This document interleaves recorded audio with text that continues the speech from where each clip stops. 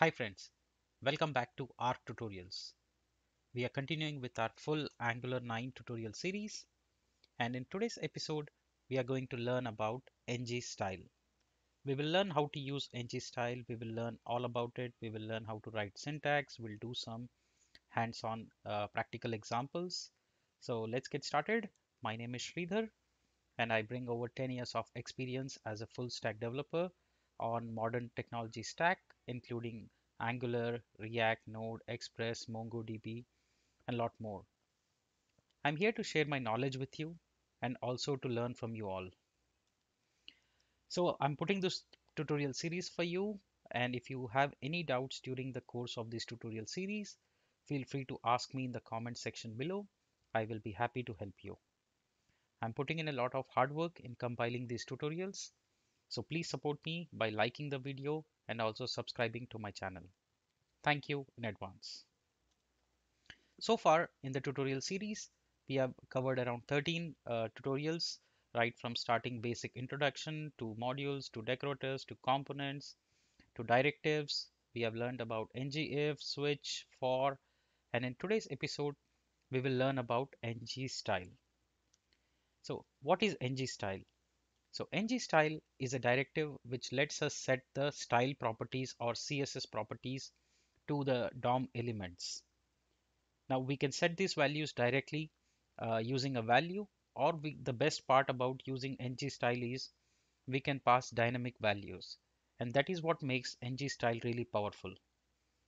The syntax for writing is we will write the ng style directive in the square brackets and then we will pass the CSS attributes or properties followed by the value. We can pass one or we can pass more than one values uh, to ng style. We'll see that now in hands-on. Let's do some practical examples. Uh, the best way I would say that learning is uh, do some practicals along with me and try it out. If you have any doubts, let me know. I will be happy to help you. Let's get started with some practical. So open up the application. It's a simple application. Uh, let's make some notes first. So ng style is used for setting the style attributes of DOM elements, right? We can set uh, more than one or more properties. Remember common mistake that a lot of people do is they make mistake in the case sensitivity. So it is ng small, s capital and remaining all small.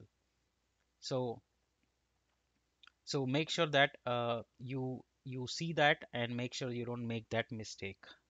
All right. Now let's go to our component and let's learn how to use ng style.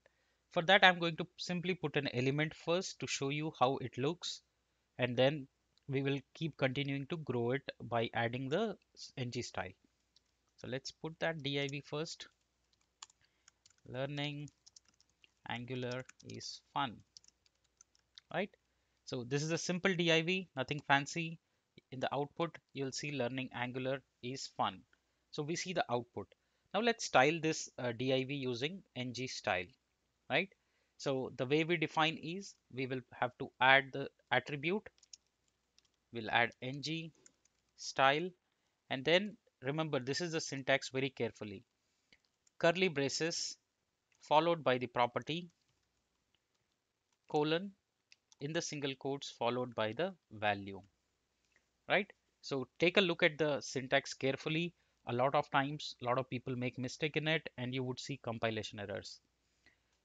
ng style in square bracket with s capital and then property css property name that's your property css property followed by the value of it. You can pass any value you want.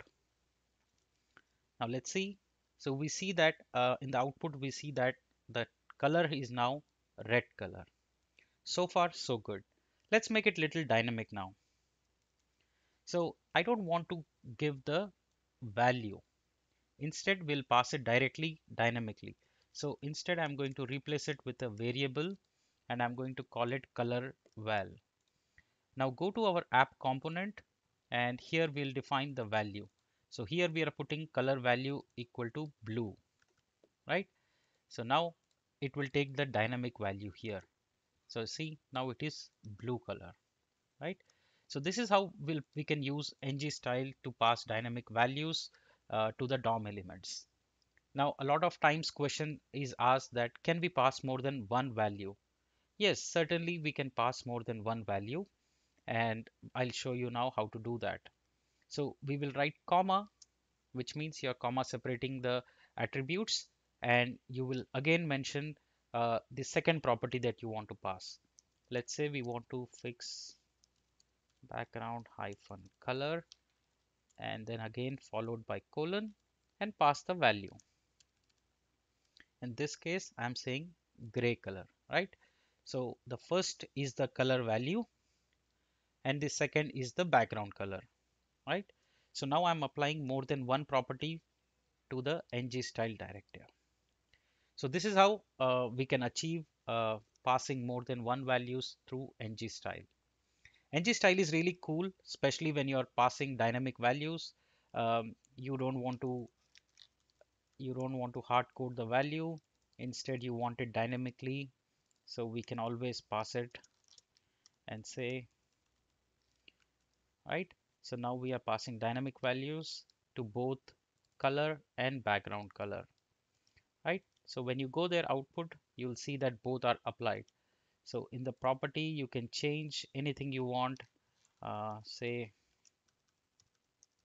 so I'm putting some other background color and we'll see that is applied, right?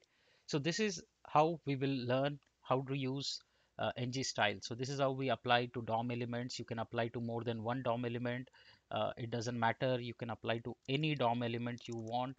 Uh, need not be always be a div. It can be a link, right? It can be a link. It can be anything that you want. Um, so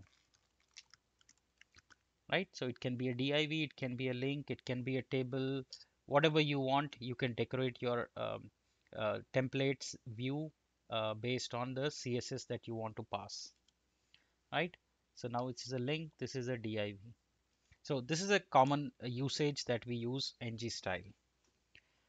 All right uh, so that was about ng style. Uh, now the common use case comes that when we have to pass more than uh, two or three elements or CSS properties to DOM element, it will become really messy. The code becomes really messy. It's not really good uh, to use that. So we will use ng class to define a class, right? So that's what we are going to learn in the next episode. I hope you're following. I hope you're enjoying this series. Um, if you do, please give a thumbs up to the video. Also, don't forget to subscribe to my channel. Uh, see you in the next episode where we will learn about ng class. All right. Thank you so much for joining. See you in the next episode.